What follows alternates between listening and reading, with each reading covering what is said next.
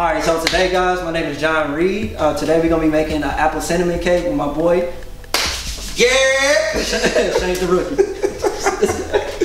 Such a great introduction. Such a great introduction. Yeah. All right, so first things first, uh, Shane, like, have you ever baked before? Damn, mom, I'm sorry. No. All right, so uh, basically, everybody that I've known, like, and I've had my desserts, always asked me, "How do you do these things?" And this is why we're doing it today. And who better else than Shay? So, well, let me tell you one thing. Y'all don't think I'm weird. I don't do sweets, but I heard your shit was popping. I heard it was dope. So I mean, he's right. we about to see. We right. about to see if you can convert a brother. Uh, he's gonna be converted after today for sure. Before we get started peeling the apples, uh, we definitely want to just let you know the ingredients that you're about to involve. You gotta have your apples. Uh, for this recipe, you usually have like three or four. Um, we've doubled it from the recipe that's online where we found it. So definitely want to make sure you have enough apples for your cake. Regular flour, all-purpose flour, baking powder, sugar. Yes, that good sugary white crack. You got your eggs. I got four eggs in there. Again, you're doubling this recipe. Brown sugar, cinnamon mixture, vanilla, butter, milk, and then also good old fashioned KitchenAid mixer. All right, so first things first, after the ingredients got all prepared, you gotta have your apples. Can't have an apple cinnamon cake without your apples. And Shank, have you ever like cut apples before? Uh no, not not with these Kill Bill. Just regular knives that you can. I got these from IKEA, super cheap. Y'all see he put me with the smile. We also need to peel the apples. First things first, uh, you can have the the big professional one, again, or you can have the old school boy that's kind of bent up and beat up. Give, give me the old school one. I just I just don't want to. That's, that's all. And how long how long you been baking anyway? Uh, I've been baking since I was eight, so my dad taught me everything I know. So, Shot pops. right, he, he went to school for baking and like pastries and or cooking and overall, got his associates, and at this point, he just taught me everything I know in regards to what he's doing for his profession now. And he definitely is not a baker. That's what's up. That, that- that's what's up, my brother. But I got a question. How the f- you peel this? this looks so easy, man. I mean, it, it, it comes to you easy like this? It, it does. I've, I've been doing it a while. So, all right. First off, you about to cut yourself. this is why I don't need knives in my f***ing hand. Basically, you want to hold it in your hand Yeah. and kind of take it. You see the little edges in between? Ah, just like okay. that. You just take that and you just pull it towards you. So you try to make sure you leave your thumb, the meat, meaty part of your thumb, to Yeah. where you don't cut yourself, because the inside part is the sharp part. Okay. Thumb There we go. Yeah. There Yeah. you go. Oh, y'all see that? I'm peeling, y'all. As we were peeling the apples, uh, Shane decided to take a little bite out of one. I didn't take a bite. I ate the skin. Get it right, okay? Just ate the skin. It's okay. Uh, one thing that you really want to do when you're working with apples in general, uh, whether you're doing apple pie, apple anything, uh, you just want to make sure once you cut them that you put them in lemon water. Yes, you have to strain them and drain the lemon water from them so that your end product is not super tart. I use bottled water because I don't really like the tap water that we have. Basically, you don't just need like maybe like a teaspoon or a tablespoon of the lemon juice. Put it in the water. So get that nice little tingly flavor. That, that what you're saying? Correct. Nice little tingle, you know, that tingle tingle. You want to make sure you cut the apples. Um, so I'm going to show him how to cut an apple. Uh, the easiest way to cut an apple, just like that. So you cut them into fours. You want to avoid the core. You're using a smaller knife, so you're not going to have the same amount of pressure behind it as mine. I'm about to saw this, just saw it, y'all. Did you want to kind of follow me before you started doing that? Look, man, the most greatest cooks Oh, learn from. I, I think you know, just trying. That's what I be doing. You know? That's how the ramen noodle in college became fancy. I don't. I don't eat those. But, anyways, uh, yes, I am bougie. Yes, I, I am. Cut them into thirds, and then to six. So as small as you can get it. The easiest way to do that without cutting yourself Yeah. is for one, use a bigger knife. So he got me using the small knife to Again, cut my damn self. I'm over here trying to help. And, all right. Quite frankly, you are you hurt yourself in this process. You just want to get them cut into six. Like they don't have to be super small. As you can see, these are starting to get a little brown. It's only because they have been out for a little while and they've been peeled. So you just want to make sure that you throw them in the water as soon as possible, so that the brownness doesn't happen and it messes up your your end product. Now that we got the apples cut in the water, soaking a little bit, again we're gonna strain those here in a few minutes. Basically, we want to prepare everything else. You, we have your butter. Uh, for this recipe, it takes a, a cup of butter. I get the little cubes, so it's easier for me to use to break down into smaller ingredients it, when I do other things. Four fourths is a cup. So Wait, what type of butter is that? this is unsalted butter uh, from Land O'Lakes, uh, Land Lake, excuse me. Oh, you rich, rich. So as I said before, the product is only as good as the ingredients. uh, have you unpeeled a butter? Give me a damn bucket stick. I really want to. And now I'm just gonna put it like, um, look at that, look at that, y'all. To about my butter. So from here, you just mix it uh, after you get your cup of butter in there. I leave it on stir just because you don't really want it to get throw it out, out the bowl, which it will do. It be, it be like flying out like in them cartoons. Yes, it, it does. Oh, good, huh? Yes, that is like legit. So I'm gonna do the sugar next, because sugar can go in with all the rest of the wet ingredients and not mess up anything. It's pretty much just so eggs. Slide them in. Yeah, It's not me. yeah, just slide them in. Right now, uh, you can see the sugar and butter already starting to clump up, and it's not mixing in with the eggs. Turn it off. Grab the spatula and pretty much just scrape the sides. Like I said, uh, Lord have mercy. That's why there's an off button. We almost died, y'all. Oh, it's now you can start seeing this mixing in a little bit better.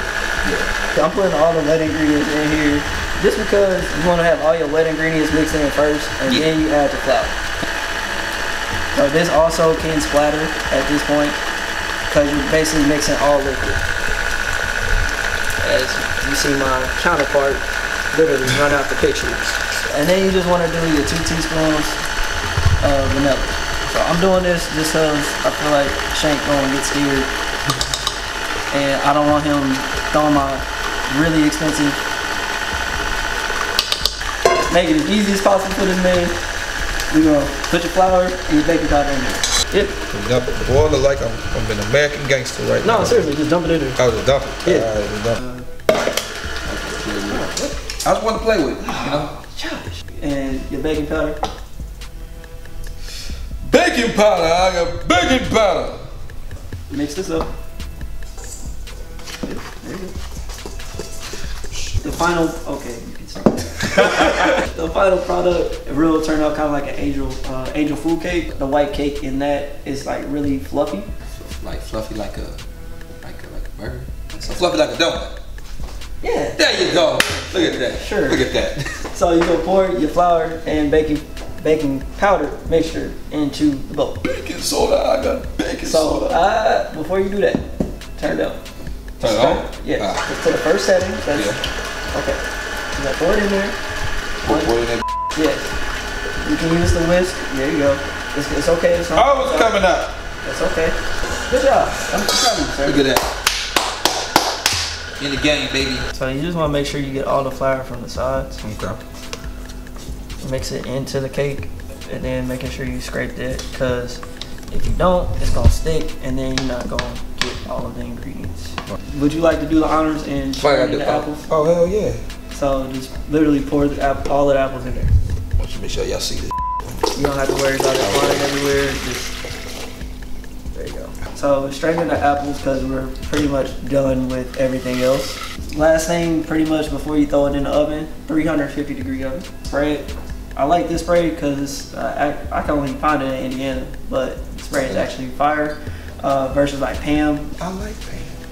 You can use Pam. Oh. I'm just spraying the heck out of this because uh, the last time I made this cake, it got stuck. uh, I don't know if it was user error or not, but uh, I know, you know, I know that. You gotta spray the utensils. pretty much you got your cake layer, and we already have a layer of the brown sugar and cinnamon. As you can see. Now you're just starting to do the layers of the cake. So you can mix everything in all together. I personally don't like it that way, just because it doesn't give you the same like feel to it. The first time I made this, I made it with just one layer of brown sugar and cinnamon. Literally the middle of the cake had brown sugar like mixed in. It was delicious. But it was like by the time you got to the bottom of the piece of the cake, and you didn't have nothing left. Yeah. This is why we doing it this way. Uh, I, I was about to say so. This how you do your macaroni and cheese, then. You got to. That's not, uh, you know what You I'm got saying? you got to layer it up. Yeah, you, yeah, I mean, you got to. If you don't bake your macaroni and cheese, I will judge you. I usually use a bigger spatula because it's a lot easier. Yeah. But basically, just doing a layer of the cake at this point. Wait, so this is just like a, a, a layer, then you put more apples on top of it? Correct. Ah, okay. Layer one, and you just repeat this process two or three times, or at least until your pan is completely full. So you can touch the apples. I can touch the apples? Cool, we going, we going been trying to eat them the whole time anyway. This is very facts, very much facts. So after I knocked it out, because this man definitely wasn't not going to be knocking it out. I was helping, Uh, anyway, it looks delicious it looks great. and it smells great too. So we're gonna throw it in the oven and pretty much let it cook for an hour because it is a homemade cake. Most likely this will overcook a little bit, um, but I'm gonna put something underneath it to make it so I don't have to clean up oven. All right, so now that the cake is in the oven, it's gonna take a good hour for that to finish. We got some more butter and we're gonna make the icing. So butter, powdered sugar, a little bit of milk, and vanilla again goes in everything, and cinnamon. What it is is gonna be a buttercream uh, cinnamon icing. Pretty much I'm gonna have Shank make it. So this is the first time I actually had somebody actually make something for me and it's kind of weird doing it, but I'll be here to coach. So, little. In the pan, in the butter. Okay. You- you Just throw it up. Okay. Wait, wait, wait, wait. Okay. Mix it up. Oh, hit You got- stir. Yeah, uh, you miss one step. Lift the thing. No, there's a little, little lift here. See, right, uh, right here? Yeah. Oh, Lever. so what I gotta do, hit the lever right? Oh, that's, oh, I can't lock it though. Oh, so, so, Just so pull do it it lock? the up, yep. Oh, it locks. There you go. You, you want to pour that in there? What is it? How much? Just the whole thing? Oh, more than a couple. I feel like this is a lot. This is a lot. It's a lot. It's more like a cup, cup and a half. Honestly, I don't usually measure when it comes to the icing. Like all black people, we don't measure Cause it, you kind of go based off of the texture. I got my milk. I take a half a cup of milk and just throw it in there. I do two, two, two tablespoons. Yeah, two teaspoons. Two uh, tablespoons? yeah, two tablespoons. Two That, that's what we do. We teaspoons make milk. up new measurements, man. So it'd be like one, two. And sometimes you do have to add more powdered sugar because it looks it's too soupy right now.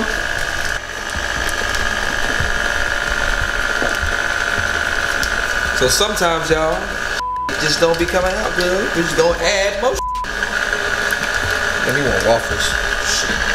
Because you don't want it to get lumpy. Like, I hate lumpy icing. You can use a sifter that'll make it easier. You know what, bro? Your, your first cake was my very first time trying a cake. Like, what? Yep. I eat cheesecake, but not like the regular, like the cake. When I was a kid, I did not have cake. Everybody else, all the kids, would have like cake and ice cream. I had sherbet. wow. Apparently we're having a heart to heart. No, my. And do two tablespoons. Dang, I keep saying that. Two teaspoons of vanilla. Tablespoon. That's what it At this point, it's pretty much done.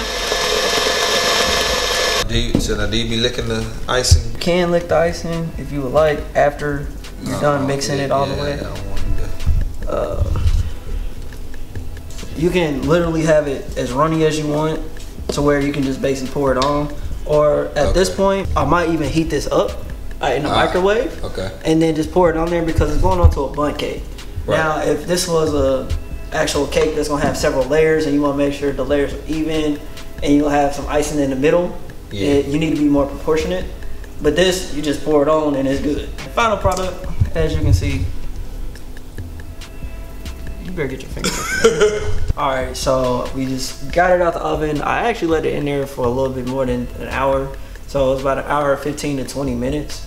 Because again, it is a, a scratch cake, so you don't want it to actually get stuck in the pan. If you undercook this cake, it will get stuck in the pan or it will not form at all. Pretty much, I'll let it sit for a, a good 30 minutes. Any type of cake, you kind of want to just pop it, pop it out. But you just want to make sure you feel the cake like coming out of the pan. This is a standard plate. So, bam. And as you can see, it is done. Uh, as you can see, some of the apples did get stuck. No need to worry. You get you a little spoon. You can pretty much just throw it on there.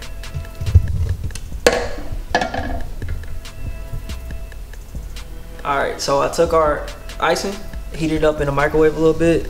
So what I'm gonna do, pour it on here. And eventually, like once it, it settles up, it will go on and then it'll harden up.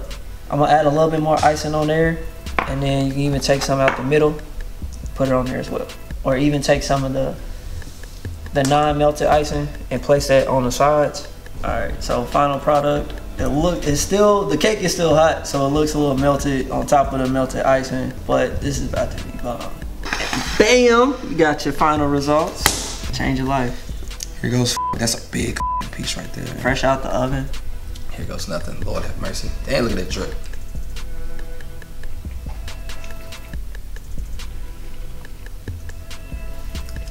That's the, that's it. that's it, that's it right there. Damn it! Ooh, this is some good ass. I came in dog. Yeah, I just made me a mother apple bun cake. Oh, um. Mouth. And there you have it. Mouth. Apple cinnamon cake.